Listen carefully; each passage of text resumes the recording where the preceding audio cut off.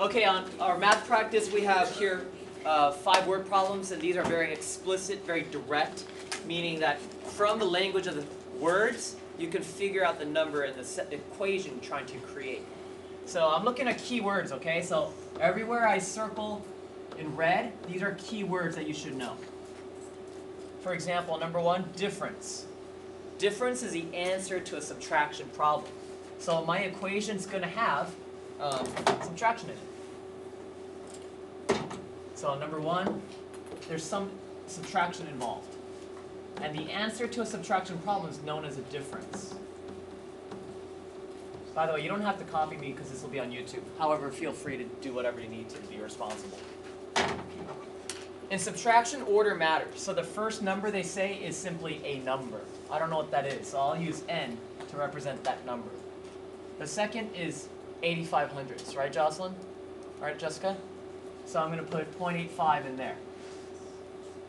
Now the word is means equals. And our answer is 2.5. It's two and a half. So there you go. My equation looks like this. n minus 85 hundredths is 2 and 5 tenths. And so when you solve, what you're going to do is do the inverse operation, which means the opposite. I'm going to add 85 hundredths to both sides. When I add decimals, I line them up according to the decimal point. So then therefore n is equal to, and I'll fill in gaps with zeros. This is 3.35. 3 and 35 hundredths. Okay? How are we feeling about that so far? Sweet. Great, huh? So cynical. Okay, here we go. Number two. Keywords you need to know is the word sum. Sum is the answer to an addition problem. So I know my equation is going to look something like this. Here's the shape of it. Okay? I go into the word problem and I discover two things. I know that I'm going to be adding this number and negative 6. So I'll write here n and negative 6. The sum of it is 25. So that's why 25 goes at the end. I don't get it, Mr. Kim. 25 was the first number. Shouldn't that be the first number in our equation? Not necessarily. Because of the way this sentence is written, it says 25 is what? The sum. So if you don't know that the sum is an addition answer, you would you would put it in the front. Okay, but with that vocabulary, you know why it belongs in the back. N plus negative 6 is 25. The opposite of adding is subtracting. So I will subtract negative 6 from both sides. This makes a zero pair after I do my sign changes. See? Negative 6, positive 6, that makes 0. 25 plus 6 makes 31. n is 31. Questions on that guy so far? Are We doing okay? Number three. Keyword I'm circling is product. What does product mean? When you take two numbers and multiply, their answer is known as a product. Okay, what are the numbers I'm multiplying? Let's see. Well, it says 18 is the product. So that means 18 is the answer at the end.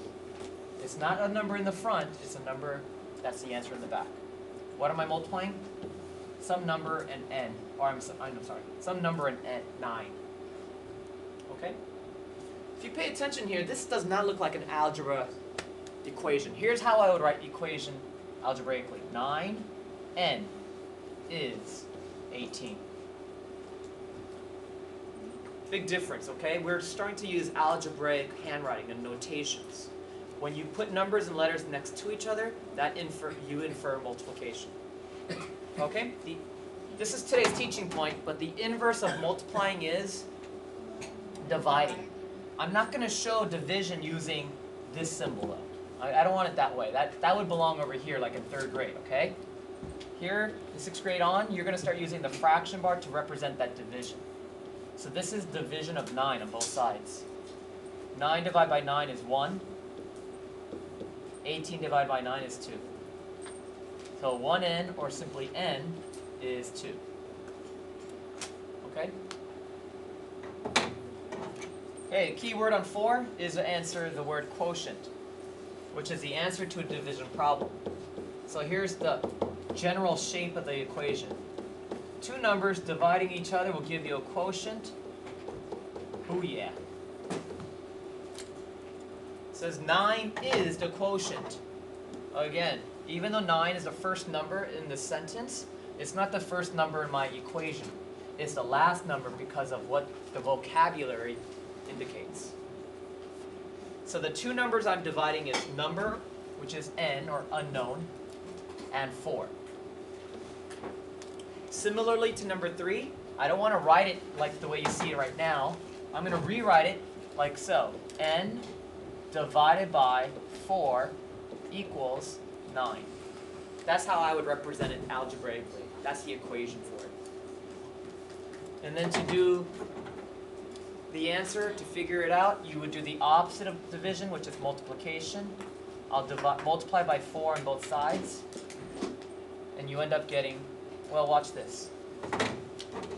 You can cross cancel, if I make this 4 a fraction, I could cross cancel this 4 for that 4, leaving 1 in their places. So if I evaluate the top, that's n. If I evaluate the bottom, that's 1. And on the other side, 9 times 4 is 36. So n over 1 is the same as saying n. Answer is 36. That's a missing number. Okay?